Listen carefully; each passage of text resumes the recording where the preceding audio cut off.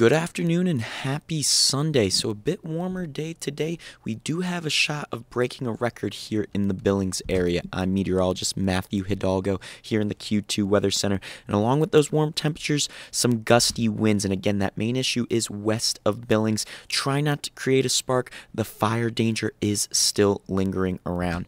Overnight temperatures tonight will be mainly in the 40s. Billings around 47 degrees by early tomorrow morning. And then tomorrow's temperatures are going to be a bit cooler. We're looking at temperatures in the 50s to low 60s. Billings around 56 degrees for a daytime high. And then we'll see that chance of some showers through the afternoon and evening tomorrow night.